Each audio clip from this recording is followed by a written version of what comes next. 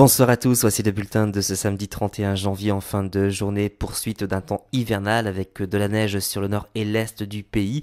On aura de fortes gelées matinales sur les régions du nord au cours de ces prochains jours et puis on gardera beaucoup plus de soleil sur le pourtour méditerranéen. Sur votre carte des précipitations, on va retrouver ces limites instables qui devraient gagner toutes les régions du nord mais également de l'est, apportant des giboulées sous forme de neige dans les terres, de pluie et neige mêlée en remontant euh, vers le littoral et puis le vent qui restera de la partie au cours euh, de ces prochaines heures essentiellement euh, sur les Pyrénées. En tout cas pour demain matin, des giboulées sous forme de neige sur la plupart des régions, beaucoup de soleil sur la Normandie ainsi que sur les Charentes, vous noterez aussi pas mal d'éclaircies sur l'extrême sud-est ainsi que sur la Corse et puis le vent qui restera assez sensible avec des rafales autour de 80 à 90 km par heure pour les températures du matin. Regardez, encore dégelé en perspective, moins 4 sur Charleville-Mézières, 0 sur Amiens, 1 sur Lille, 2 euh, pour Biarritz, 5 pour Montpellier, ainsi qu'à Marseille. Pour votre après-midi, on va retrouver euh, cet axe pluvio-neigeux sur un axe allant du Midi-Pyrénées jusqu'à la Franche-Comté en passant par le Massif central.